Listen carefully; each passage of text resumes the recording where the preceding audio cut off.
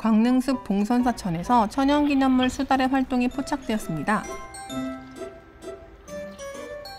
지난 3일 광릉숲을 관통하는 봉선사천에서 어린 수달 두 마리가 활동 중인 모습을 포착했습니다.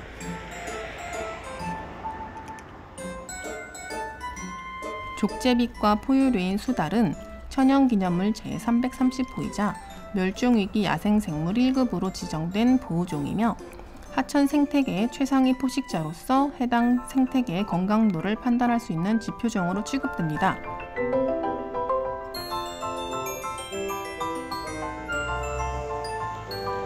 새해를 맞은 1월 3일 일몰 시간대에 포착된 광릉숲의 수달은 사람의 시선을 피할 수 있는 교량 아래와 하천의 얼음 구멍을 이용하여 활동 중이었으며 비교적 작은 크기의 두 마리가 영상으로 촬영되었습니다.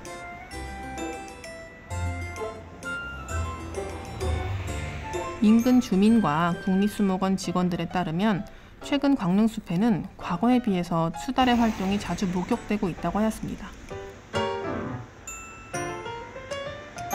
김재현 광릉숲 보전센터장은 인근 왕숙천에 서식하던 수달 개체들이 최근 증가한 침소시설로 인해서 수변 식생이 제고되고 야간 운동을 즐기는 시민들이 증가함에 따라서 사람이 거의 없고 은신처와 먹이가 풍부한 광릉숲으로 피난 온 것으로 판단된다고 하였습니다. 천연 기념물 수달의 활동에 방해가 되지 않도록 봉선 사천을 따라 조성된 광릉숲길 보전에 최선을 다하겠다고 밝혔습니다.